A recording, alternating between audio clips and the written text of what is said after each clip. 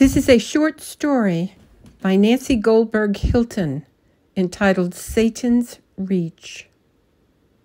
I was standing in an office in a tall building waiting on some paperwork to be completed. Suddenly, I heard a rushing or a hissing sound and looked down. It was a black wire that was snaking into the room. I avoided it.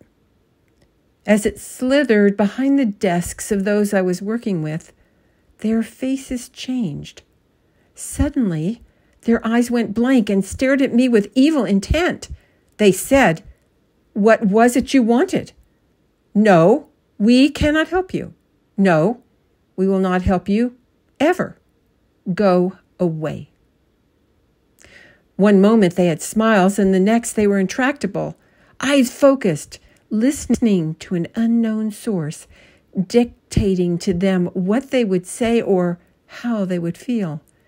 They were changed in a moment from kind to unkind.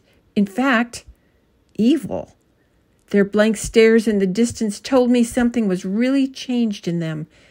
It was as if an unknown force suddenly took hold of their wills and took over their bodies. I noticed this snaking wire was leading out into the hallway and going into all the rooms.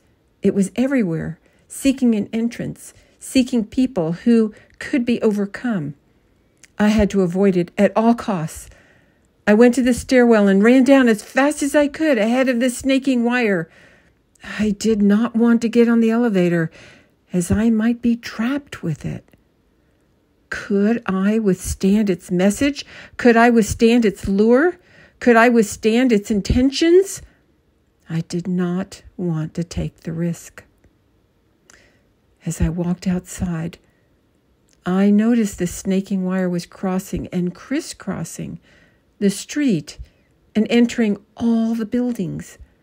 There were people coming out in fear, and others were following docilely along.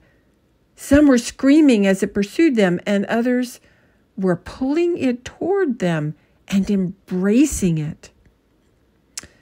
As I watched the events unfold before me, I got on my knees and prayed for protection. Heavenly Father, we are being attacked by evil. We are being lulled into acceptance. We are being procured and surrounded by the evil wire as it wraps its tentacles around us like an octopus. Please loosen its grip. Please give us a way of escape. Please Please help us.